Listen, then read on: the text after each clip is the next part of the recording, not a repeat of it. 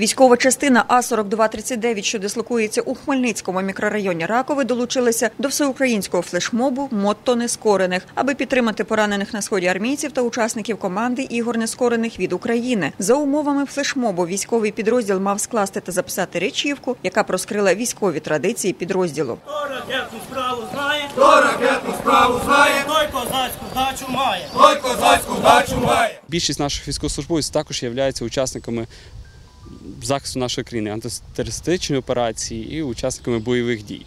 Тому вони вирішили одразу долучитися, як тільки почули про дану акцію. Більшість е, робіт було проведено оркестром військової частини, так як саме хлопці з оркестру на відео біжать і співають речівку. Речівка була придумана не одна, їх було придумано декілька.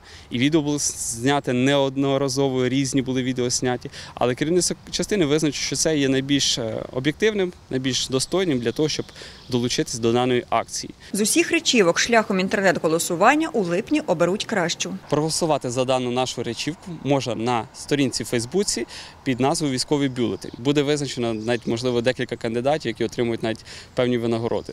Цього року серед 15 учасників української команди, що поїдуть восени до австралійського сіднею на ігри нескорених, буде прикордонник з Хмельницького Віктор Шинкарук. Торік Віктор був членом резерву збірної України.